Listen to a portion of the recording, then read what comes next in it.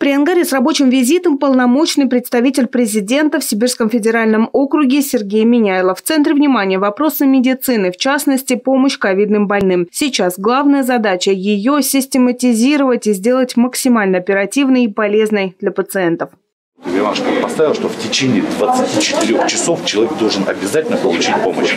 Сергей Миняйло и Игорь Кобзев посетили станцию скорой помощи. Сейчас на линии работают 56 бригад. Гостям продемонстрировали работу мобильного автоматизированного места врача. С помощью специальной программы на планшете доктора могут в режиме реального времени посмотреть наличие свободных мест в стационарах. По словам губернатора Приангария, ситуация с коечным фондом в регионе стабилизировалась. На прошлой неделе были развернуты дополнительные места в третьей клинической больнице в Иркутске, а также второй корпус корпус в Ангарском перинатальном центре на 104 койки. Больницы полностью обеспечены медикаментами и средствами индивидуальной защиты.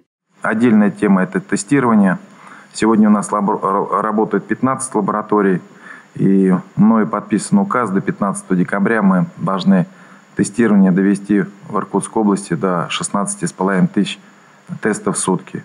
Сегодня поступил доклад от Минздрава о том, что а, те замороженные тесты, которые были ранее, а, сегодня полностью они все реализованы, доведены до пациентов. А вот с наличием лекарств в аптечных сетях еще предстоит разобраться. В некоторых до сих пор наблюдается дефицит популярных препаратов, отметил Игорь Кобзев. А полпредпрезидента Сергей Миняйло предложил крупным сетям при ангаре рассмотреть возможность снижения торговой наценки на жизненно важные лекарства. Ирина Шаврюк, Антон Бархатов. Местное время.